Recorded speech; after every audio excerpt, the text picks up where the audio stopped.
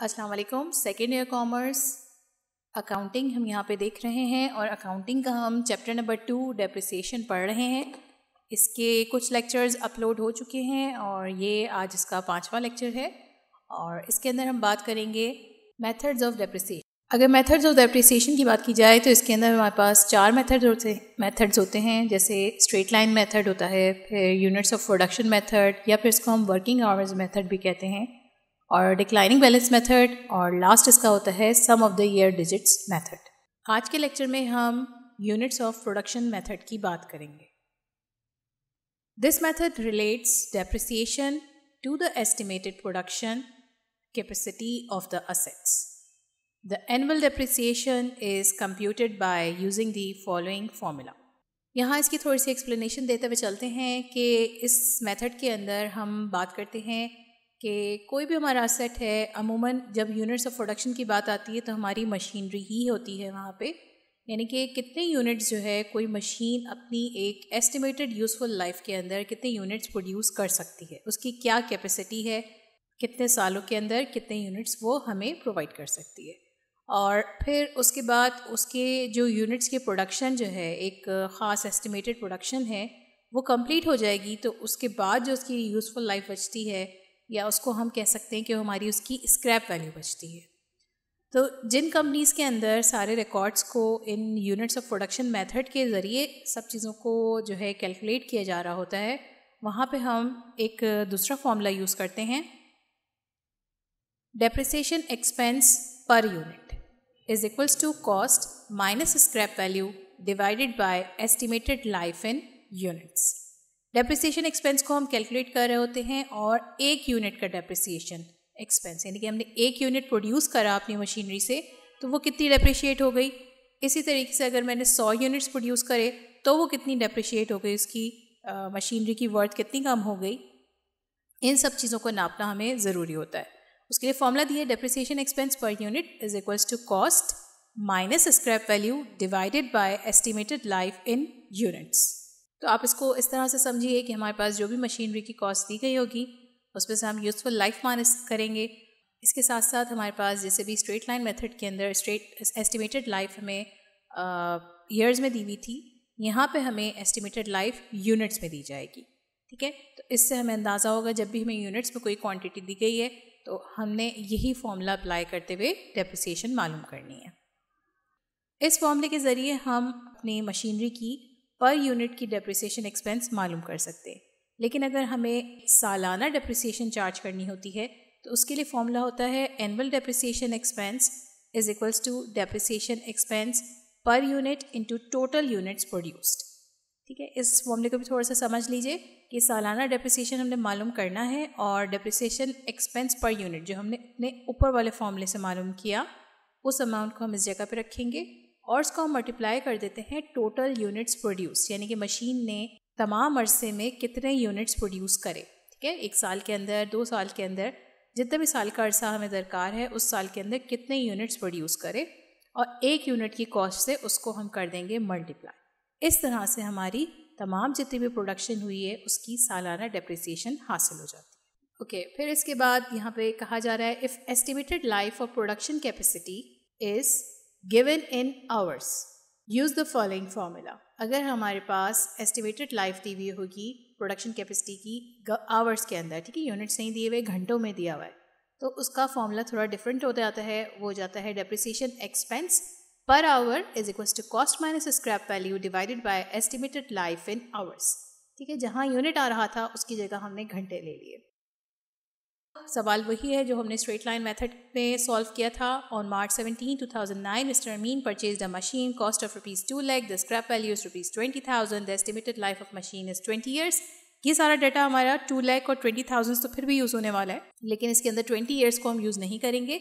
इसकी जगह sixty thousand unit और एट्टी थाउज़ेंड आवर्स इनमें से हमने दोनों में से चूज़ करना है क्योंकि अभी हम यूनिट्स प्रोडक्शन मेथड की बात कर रहे हैं। तो अभी हम सिक्सटी थाउज़ेंड यूनिट्स को यूज़ करेंगे, ठीक है?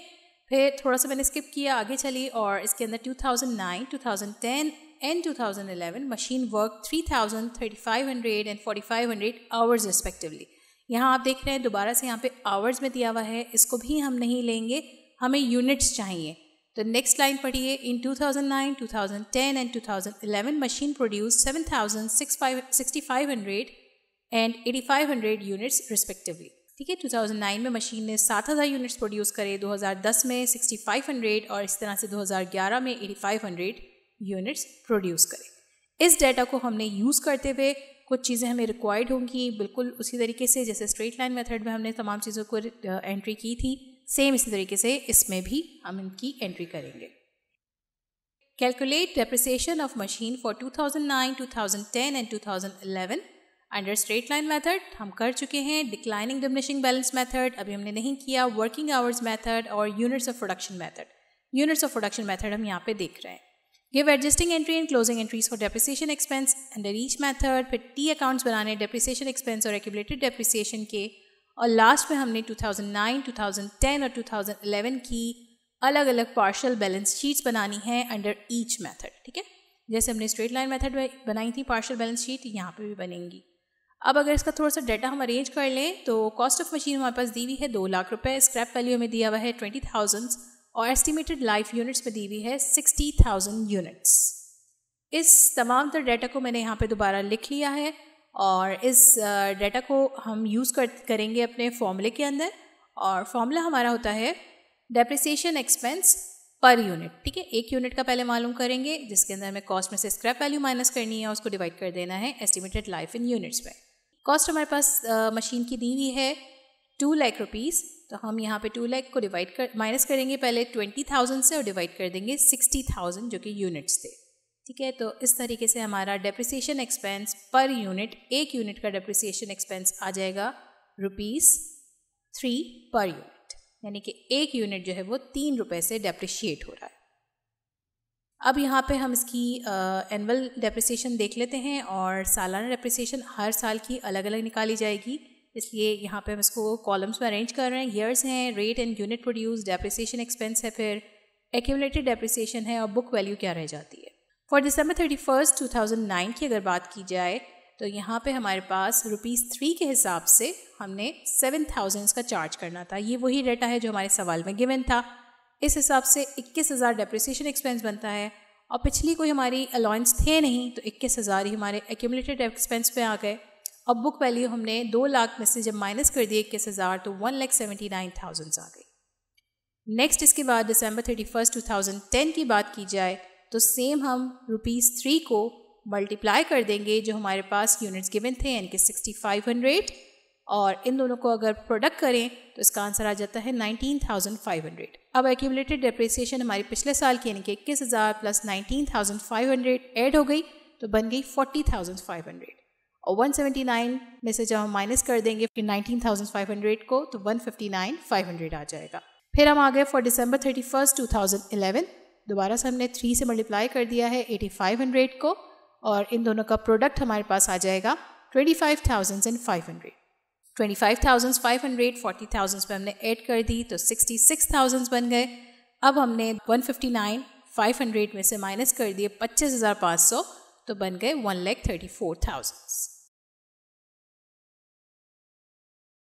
इसके बाद इसका हमने यहाँ पे जर्नल जर्नल बना लिया है एंट्रीज पास कर दी हैं डेप्रिसिएशन एक्सपेंस हमने पहले साल में किया था इक्कीस हज़ार अलाउंस फॉर डेप्रिसिएशन भी वही क्रिएट हो गए। फिर हमने डेप्रिसिएशन एक्सपेंस को क्लोज करना था इसलिए हमने इसको एक्सपेंस इन रेवेन्यू समरी में डाल के क्लोज कर दिया। क्रेडिट साइड पे ले आए हम डेप्रिसिएशन एक्सपेंस को। ओके okay, फिर इसके बाद 2010 की बात की जाए तो सेम वही काम किया। उन्नीस हज़ार पाँच सौ रुपये बने थे यहाँ पे हमारे allowance for depreciation depreciation expense जो हुआ था। फिर हमने इसको साल के आखिर में ला के क्लोज कर दिया expense and revenue summary account में डाल के। सेम इसी तरीके से 2011 में भी किया हमने। डेप्रिसिएशन एक्सपेंस हमारे थे पच्चीस हज़ार पाँच सौ। और फिर हमने उसकी क्लोजिंग एंट्री पास कर दी। एक्सपेंस एंड रेवेन्यू समरी के अंदर डाल के पच्चीस हज़ार पाँच सौ क्लोज हो गया। ओके okay, नेक्स्ट इसके बाद हमने यहाँ पे इसका टी अकाउंट बनाया है डेप्रिसिएशन एक्सपेंस और अलाउंस फॉर डेप्रिसिएशन थे हमारे इक्कीस हज़ार के और जब हमने इसको क्लोज करा expense and revenue summary account के अंदर हमने इसको क्लोज कर दिया। दोनों साइड्स का हम साम ले लेंगे तो दोनों साइड्स पे हमारे इक्कीस हज़ार और इक्कीस हज़ार टोटल आ जाएगा। सेम इसी तरीके से हमने 2010 में भी अलाउंस फॉर डेप्रिसिएशन रखे, उन्नीस हज़ार पाँच सौ के थे और इसी उसको भी हमने एक्सपेंस एंड रेवेन्यू सबरी में क्लोज कर देना है। तो उन्नीस हज़ार पाँच सौ हमारे पास डेबिट साइड पे भी आ गया और क्रेडिट साइड पे भी आ गया।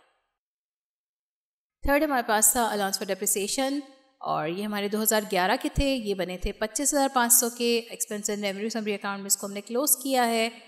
और पच्चीस हज़ार पाँच सौ क्लोज में आ जाएँगे और इस तरीके से हमारी डेबिट साइड और क्रेडिट साइड दोनों इक्वलेंट होगी।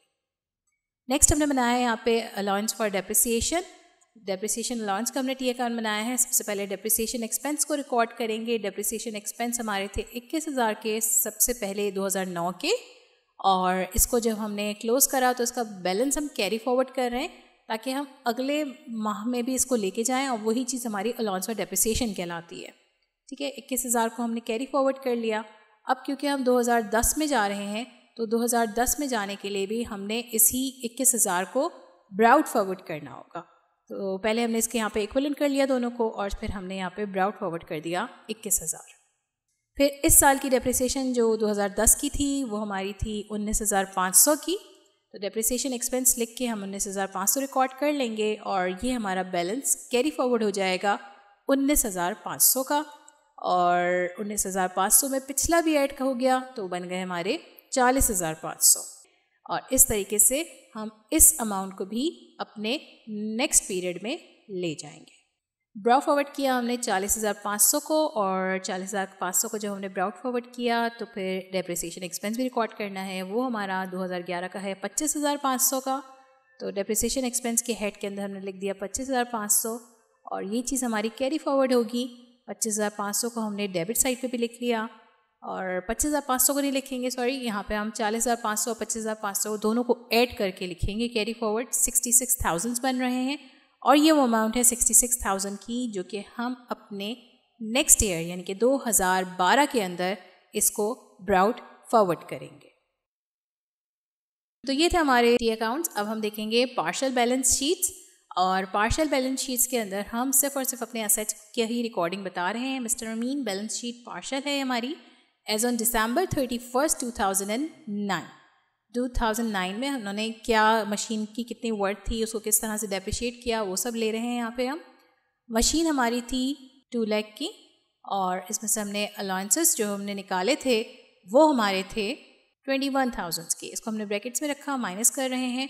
और इन दोनों को जब हम दो लाख में से इक्कीस हज़ार माइनस करेंगे तो टोटल हमारे पास आ जाएगा one lakh and seventy nine thousand ठीक है, ये हमारी पहली 2009 की बैलेंस शीट बन गई। नेक्स्ट, दोबारा हम आए हैं पार्शल बैलेंस शीट के ऊपर ही, लेकिन 2010 की बनाएँगे अब की दफ़ा हम।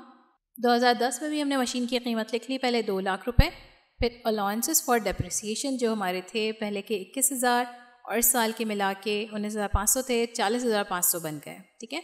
अब हम दो लाख में से जब चालीस हज़ार पाँच सौ को माइनस करते हैं तो हमारे पास अमाउंट आ जाता है one lakh fifty nine thousand and five hundred फिर हम आ गए अपने थर्ड ईयर पे, यानी कि टू थाउज़ेंड एंड एलेवन पे, और यहाँ पे भी हम इसकी बैलेंस शीट बना रहे हैं पार्शल बैलेंस शीट और इसके अंदर भी हमने सबसे पहले इसकी कीमत लिख दी, दो लाख रुपए।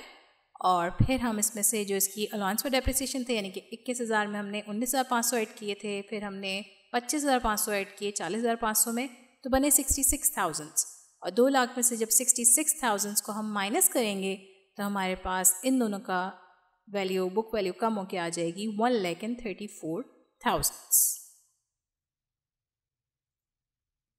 उम्मीद है आज का लेक्चर आप लोगों को अच्छी तरीके से समझ आया होगा और ये हमने यहाँ पे यूनिट्स ऑफ़ प्रोडक्शन मेथड को समझा है और इसी की तरीके से सेम इसी तरह से सिर्फ़ इसके अंदर थोड़ी सी चेंजेस ला के वर्किंग आवर्स मेथड होता है, जो हम इन ताला आपको अपने नेक्स्ट लेक्चर में बताएँगे और इन तमाम सवाल को आपने प्रैक्टिस में लेके आना है और इसके हवाले से जो भी मुश्किल पेश आ रही है आप हमसे पूछ सकते हैं। उम्मीद है आज का लेक्चर आप लोगों को अच्छी तरीके से समझ आया होगा और इस लेक्चर के हवाले से किसी भी किस्म का कोई सवाल है तो आप हमसे फेसबुक पे इंस्टाग्राम पे या हमारे इस ईमेल एड्रेस पे भी अपने तमाम सवाल पूछ सकते हैं। इसके साथ साथ कमेंट सेक्शन में भी आप अपने तमाम सवाल पूछ सकते हैं। और ये वीडियो पसंद आई है तो इस वीडियो को लाइक ज़रूर कीजिएगा। हमारे चैनल को सब्सक्राइब ज़रूर कीजिएगा। अल्लाह हाफ़